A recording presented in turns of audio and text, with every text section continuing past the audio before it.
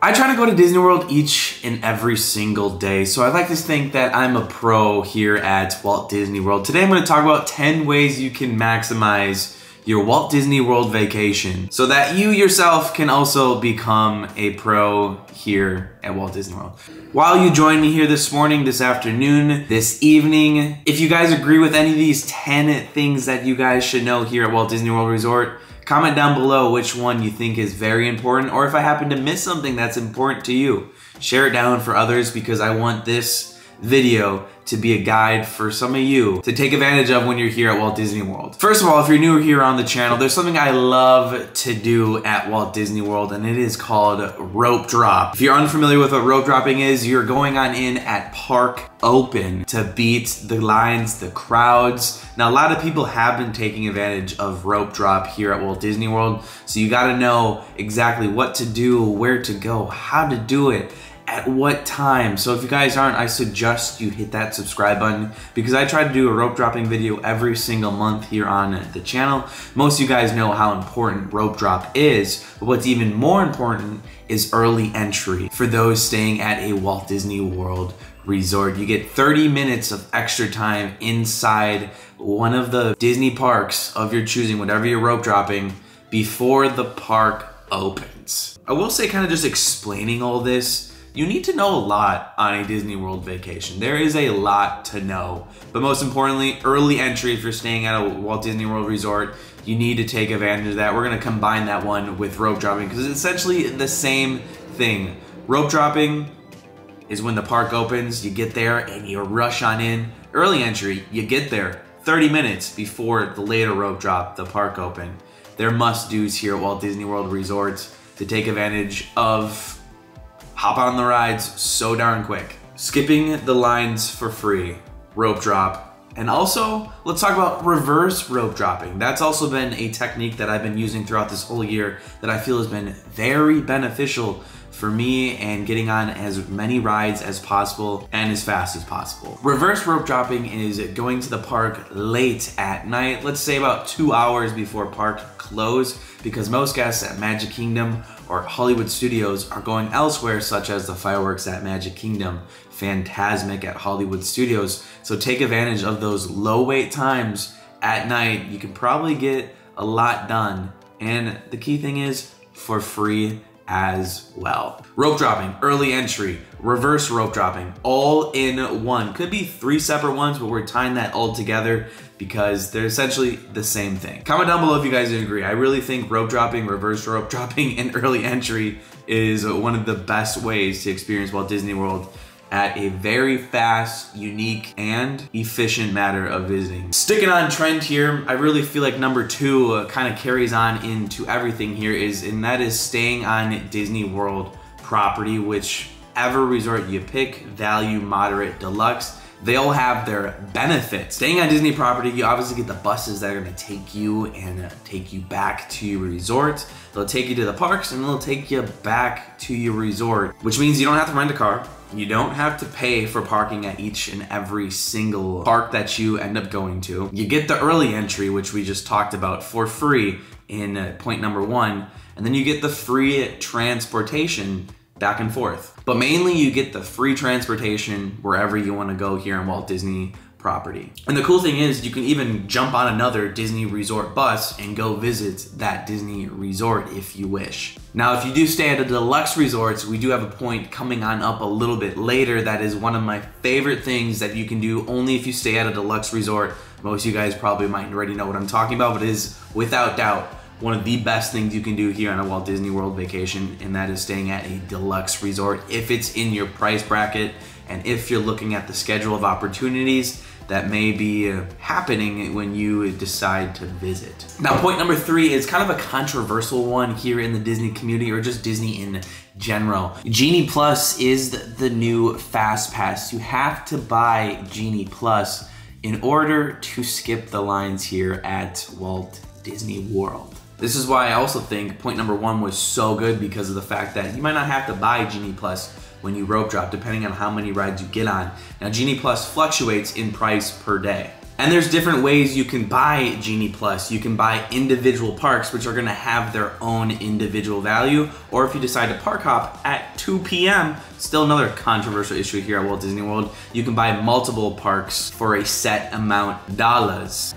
I think the highest I've seen it was $35 per person for the service and $14 per person for the service. Really depends on when you come, how many people are here, because it's always gonna fluctuate in prices for Genie Plus. But I personally am an avid user of Genie Plus. Again, if you guys follow me each and every single day, you'll see me buy the Genie Plus service. And also, it's really important to note that you can buy Genie Plus at midnight the day before your visit. Well, technically the day of your visit, because it's technically the day of your visit at midnight. And then you can make your first selection at 7 a.m. Yeah. See, team no sleep when you come to Disney World quite literally. I wish there was a way to kind of like already pre-select those. You didn't have to stay up till midnight. You didn't have to. You didn't have to wake up at 7 a.m. That would be really nice. But um, yeah. By the way, too, those things sell out like cookies in a bake shop. Bake shop in a bakery. Those bad boys go quick. And also at 7 a.m., you can make your first individual lightning lane selection at 7 a.m. If you're staying at a Walt Disney World resort, see how that one ties into point number two. Very important to me staying at a Walt Disney World resort because you get that individual lightning lane selection at another cost, anywhere from 14 to $18 per day. I think it's a little bit higher than that sometimes, but I think that's the highest I've ever seen it go. As far as the attractions that are included in the individual lightning lane, there's only a couple. Seven Dwarfs Mine Train, Train and Tron at Magic Kingdom. Hop on over to Epcot. It's gonna be Guardians of the Galaxy. Animal Kingdom, it's gonna be Flight of Passage. And Hollywood Studios, it's Rise of the Resistance. Just imagine you guys are coming to Walt Disney World for the first time. I mean, maybe one of you guys are there is a lot to know. Like there is a lot to know, so please don't feel overwhelmed because sometimes I'm overwhelmed before going to the parks.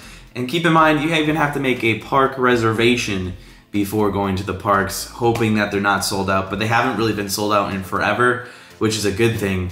But um, sometimes they can, especially over at Disneyland. Those bad boys go go so quick there's a lot to know. There's a lot to know and moving on to our number fifth way to maximize your Walt Disney World vacation is simply just look at the hours, especially if you're coming later in the year, October and November, December. There's these Halloween and Christmas parties. What we just discovered, well, we've kind of known this forever, but it kind of fluctuates every single year. Specifically this year, when Magic Kingdom is closing at 6 p.m., you want to go to Magic Kingdom because not a lot of people like to go to parks that are closing early. But that makes it a perfect way to save on Genie Plus, to get on all the rides, and then hop on over to another park or enjoy a resort that you're staying at, or maybe even go to Disney Springs. Looking at the hours is so important.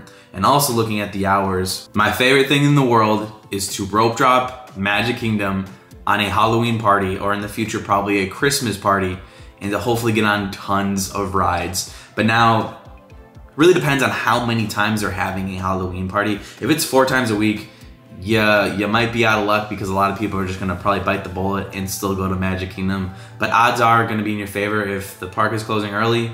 Go, go. Always look at the hours because sometimes there's actually a buyout in the Magic Kingdom or Epcot, Hollywood Studios, maybe even Animal Kingdom and nobody's there that day because nobody wants to go on a park that is closing early. But I'm telling you, it's the best thing to do in the world.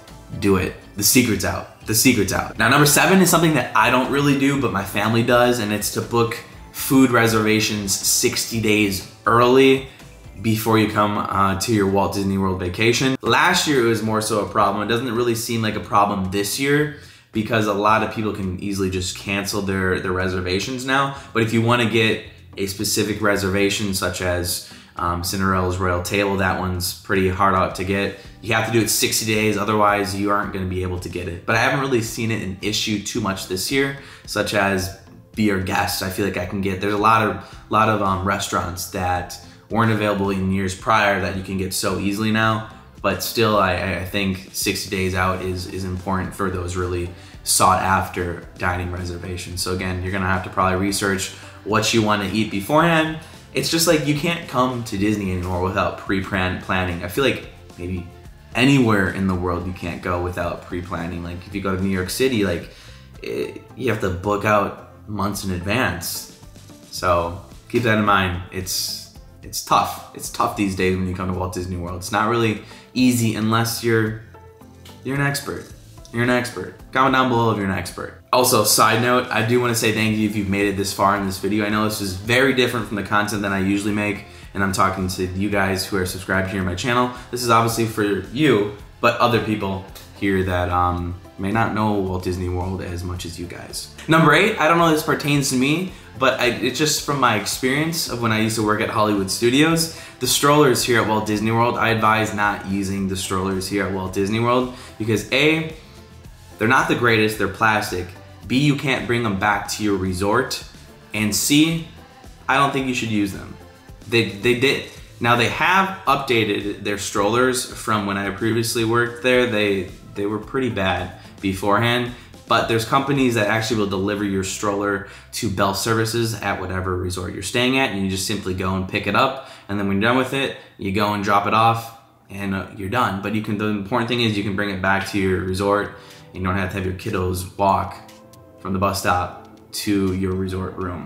And you can bring it anywhere, which is super nice. The ones at the park, you can only keep in the park, but if you go to a different park, you can show that receipt and get another stroller for free at that other park. But I think, at least just from my thinking, it's better to get a stroller from a different company here around Walt Disney World. I think Kingdom strollers and Magic strollers is the only ones that kind of come to my mind when I used to work bell services at Walt Disney World.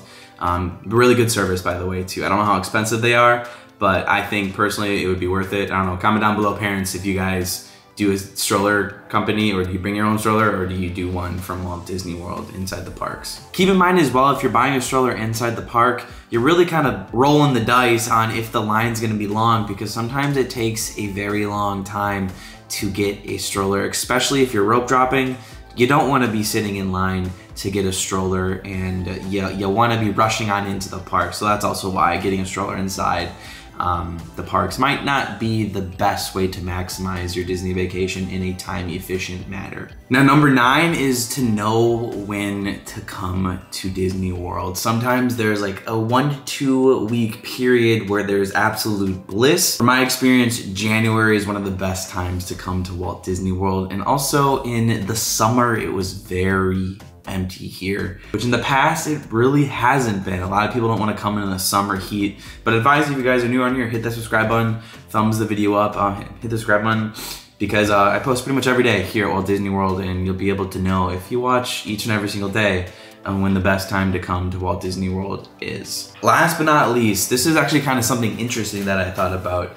Um, don't be afraid to take a Lyft or an Uber especially if you're going in between parks. Like if you're going to Hollywood to Animal Kingdom, sometimes that bus that is on the loop going from Hollywood Studios to Animal Kingdom kind of takes forever. I've had experiences where it takes anywhere from 30 to 45 minutes. It really just kind of depends on uh, how the buses are operating that day, but Ubering and lifting around Walt Disney World is kind of clutch. And even you can do it from your resort if you wish, because they technically drop off in some parks closer than the Disney buses if you're gonna be a little bit picky by a couple steps. But I always say don't be afraid to take an Uber or, or Lyft if it fits you in your budget already because you know coming here there's a lot of money to be spent, like a lot a lot. With that, that's gonna be kind of like the 10 tips to maximize your Walt Disney World vacation. Again, going in early to the parks is probably like the best thing and obviously buying Genie Plus and getting lightning lanes too if it fits in your budget. But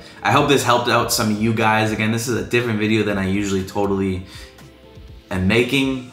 Maybe I'll make more of these in the future. I figured I kind of wanted to do something a little bit different than going on into the park and vlogging because tomorrow we're, uh, we have quite the surprise on the channel, so looking forward to that. But yeah, let me know what you guys think of this video. I don't know if it's gonna do well, if it's gonna do good, but it's just something a little bit different from what I usually make here on the channel. So let me know down below if I missed anything because I'm sure like I missed a lot. But again, these are like the 10 core that I really feel like are going to help a lot of people and stuff to know about here on Walt Disney World property. I feel like I said Walt Disney World a lot in this video, but you know, we're talking about Walt Disney World. But let me know down below if you guys can think of any other ways to help some people to maximize your Walt Disney World stay. With that, definitely a shorter video for sure, but see you guys tomorrow. And um, that was it for your, your daily dose. Bye bye.